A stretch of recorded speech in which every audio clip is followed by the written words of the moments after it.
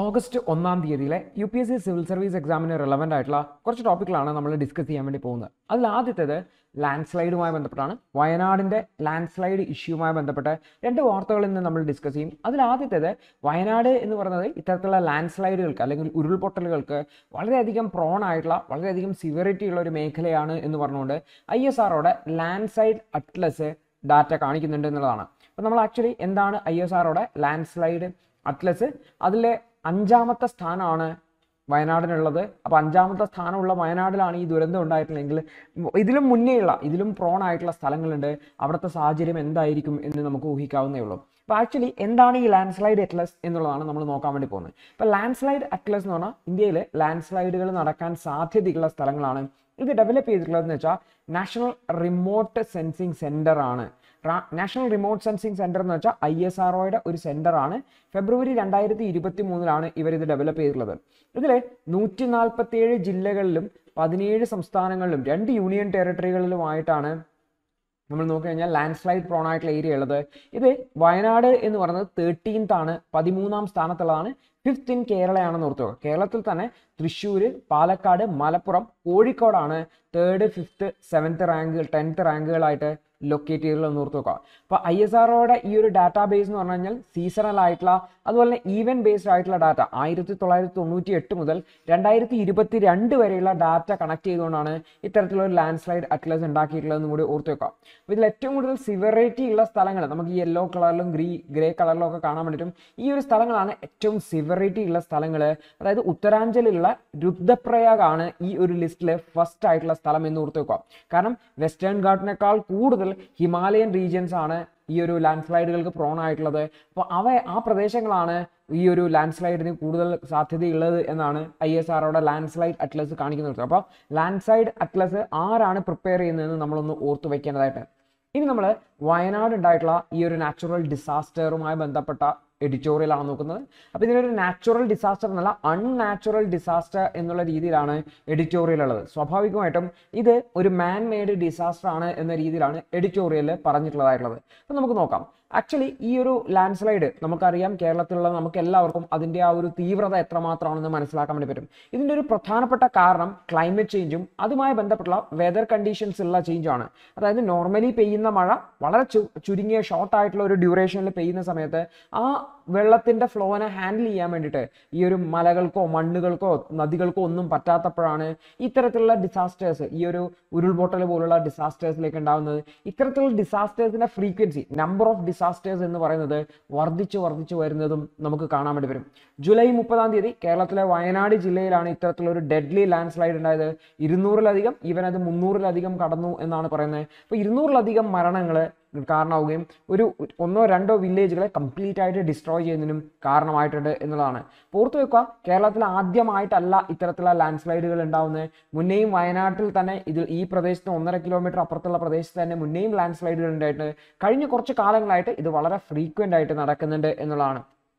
അപ്പോൾ ഇതിന്റെ ഒരു പ്രധാനപ്പെട്ട കാരണം ഹെവി റെയിൻ ആണ്. ശക്തമായിട്ടുള്ള മഴയാണ്. കാരണം ഈ ഒരു ശക്തമായിട്ടുള്ള മഴ കാരണം ഒഴുകി വരുന്ന വെള്ളം ചാലിയാർ റിവറിൽ ക്യാരി ചെയ്യാൻ പറ്റുന്നില്ല. ഈ ഒരു വെള്ളം എന്താണ് അത്രയും ശക്തി ഈ മലമുകളിൽ നിന്ന് വരുന്ന സമയത്ത് അതിന്റെ വഴിയിലുള്ള മണ്ണും പാറക്കല്ലുകളെയും ഒക്കെ എടുത്തുകൊണ്ട് ക്യാരി ചെയ്തുകൊണ്ട് വരുവാണ്.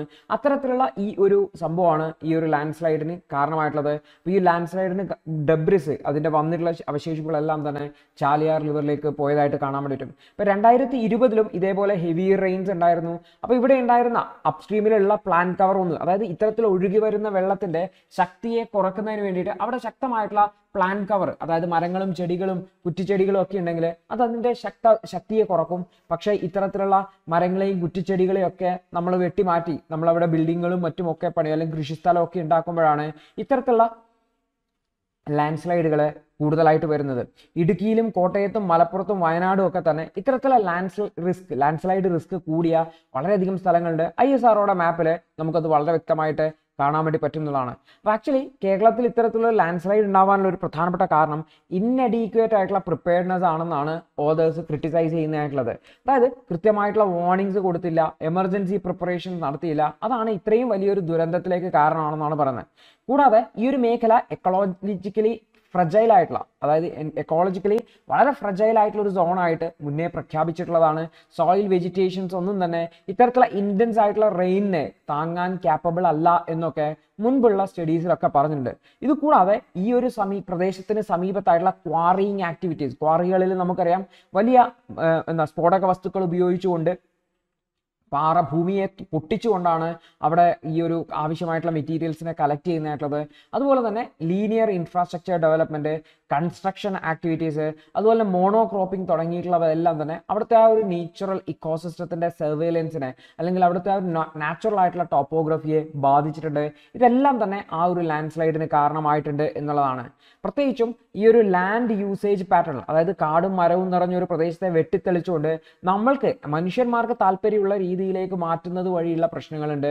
അതുപോലെ തന്നെയാണ് ഡിനുണ്ടേറ്റഡ് ആയിട്ടുള്ള ഏരിയാസും അതായത് കുഴിയുള്ള പ്രദേശങ്ങളും മറ്റുമൊക്കെ എന്താണ്? ഇത്തരത്തിലുള്ള ഈ ഡിസാസ്റ്റേഴ്സിനെ താങ്ങാൻ പറ്റാത്ത സാഹചര്യം കാരണം വെള്ളത്തെ താങ്ങി നിർത്താൻ പറ്റുന്ന സ്ഥലങ്ങളുണ്ടെങ്കിൽ വെള്ളം അതിന്റെ അകത്ത് പോയി സ്റ്റോർ ആയിക്കോളും. അത്തരത്തിലുള്ള ഏരിയാസ് ഒന്നും ഇല്ലാത്തത് കൊണ്ട് തന്നെ നമ്മളെല്ലാം നികത്തി അവിടെ വീടുകളും ബിൽഡിങ്ങുകളും ഒക്കെ വെച്ചതുകൊണ്ട് തന്നെ അതെല്ലാം ഇതിന്റെ കാരണമായിട്ടുണ്ട്. വെസ്റ്റേൺ ഗാർഡിന്റെ എക്കോളജിയെ സംബന്ധിച്ച് ഗാഡ്ഗിൽ ഒക്കെ നേതൃത്വത്തിലെ എക്സ്പേർട്ട് കമ്മിറ്റികൾ ഉണ്ടായിട്ടുണ്ടായിരുന്നു. അപ്പോൾ അതിന്റെ അതുപോലെ വിവിധ എഞ്ചിനീയറിംഗ് പ്രൊജക്റ്റുകൾക്കെതിരെയും ഈ ഒരു മേഖലയിലുള്ള ഡെവലപ്മെന്റൽ ആക്ടിവിറ്റീസിനെതിരെയും ഒക്കെ അന്ന് ആ ഒരു ഗാഡ്ഗിൽ കമ്മിറ്റി റിപ്പോർട്ടിലൊക്കെ കൃത്യമായിട്ട് പറഞ്ഞിട്ടുണ്ടായിരുന്നു. എന്നിട്ടും അത് തുടരുന്നു എന്നുള്ളതാണ് ഇത്തരത്തിലുള്ള ദുരന്തങ്ങൾക്ക് കാരണമായിട്ടുള്ളതെന്നാണ് പറയുന്നത്.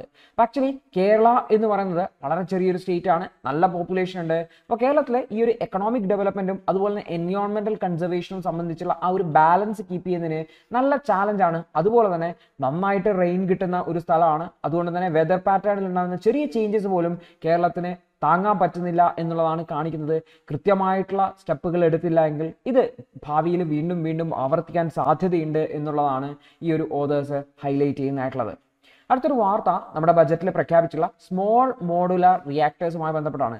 ബജറ്റുമായി ബന്ധപ്പെട്ട ഡിസ്കഷനിൽ തന്നെ നമ്മൾ ഈ ഒരു സ്മോൾ മോഡുലാർ റിയാക്ടേഴ്സിനെ കുറിച്ച് പറഞ്ഞിട്ടുണ്ടെങ്കിലും ഇതുമായി ബന്ധപ്പെട്ട ഇഷ്യൂസും മറ്റു കാര്യങ്ങളും ഒക്കെയാണ് ഈ ഒരു എഡിറ്റോറിയൽ പറയുന്നതായിട്ടുള്ളത്. ദി ഹിന്ദുവിന്റെ ഇന്നത്തെ വിശകലനം കണ്ടതിന് നന്ദി. നിങ്ങൾക്ക് ഇത് സഹായകരമായെന്ന് വിശ്വസിക്കുന്നു. ഇന്നത്തെ ബാക്കിയുള്ള വാർത്തകളുടെ വിശകലനത്തിനു വേണ്ടി ഞങ്ങളുടെ ന്യൂസ് അനാലിസിസ് ക്ലാസ്സിൽ ജോയിൻ ചെയ്ത് പഠിക്കാവുന്നതാണ്.